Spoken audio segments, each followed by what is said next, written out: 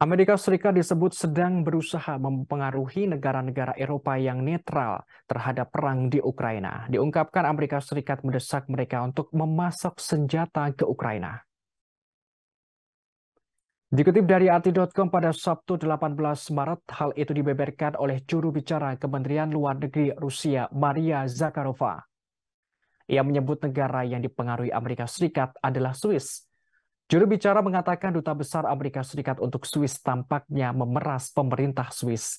Ia menguak gerak-gerik Amerika Serikat berusaha untuk membuat Swiss mencabut larangan ekspor kembali senjatanya. Juru bicara Kementerian Luar Negeri Rusia mengomentari pernyataan baru-baru ini yang dibuat oleh utusan Amerika Serikat itu, Scott Miller. Yakni Miller menyebut Byrd tidak dalam posisi untuk menjaga kenetralan atas konflik di Ukraina yang menghubungkannya dengan penurunan harga saham kredit Swiss minggu ini sebuah lembaga keuangan terkemuka di Swiss.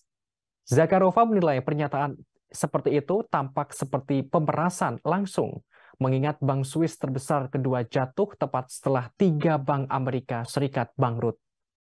Zakharova menerangkan inti dari pesan Miller tampak seperti menjatuhkan netralitas dan mulai mengirim senjata ke rezim Kiev. Sebagaimana diketahui, Miller menyatakan bahwa Swiss berada dalam krisis terburuk sejak Perang Dunia Kedua dan dihadapkan pada arti netralitas. Meskipun Washington menghormati kebijakan Bern untuk tidak menjual senjata ke zona perang. Sebagai informasi, Presiden Swiss Alain Berset awal bulan ini mencegah pengiriman senjata buatan Swiss ke Ukraina, termasuk oleh negara lain. Terima kasih sudah nonton. Jangan lupa like, subscribe, dan share ya. Thank you.